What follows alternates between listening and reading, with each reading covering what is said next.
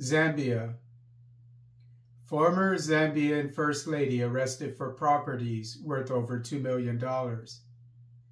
The former Zambian First Lady Esther Lungu, her daughter Chiyeso Lungu Katete, and relative Charles Phiri were arrested by the Drug Enforcement Commission, DEC, on Thursday, May 30, 2024, for possession of real estate valued at over $2 million, believed to be illegally acquired.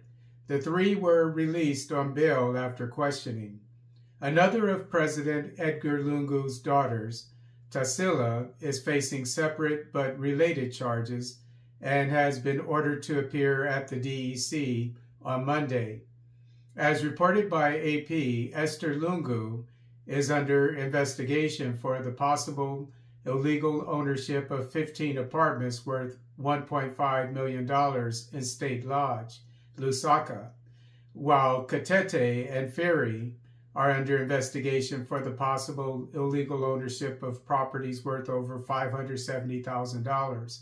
The DEC said Esther Lungu could not justify owning the 15 apartments. According to the cable, the DEC said the property in Esther Lungu's possession was purchased between January 2015, when her husband was sworn in as president, and December 2023.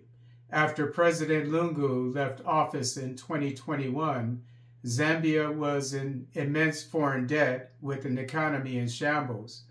The Lungu family and several government officials of the Lungu administration have been under investigation by current President Hakainde Hichilema.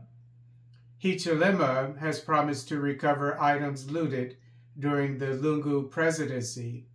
Former President Lungu announced last October that he would be running again as president, causing the government to cancel his retirement benefits.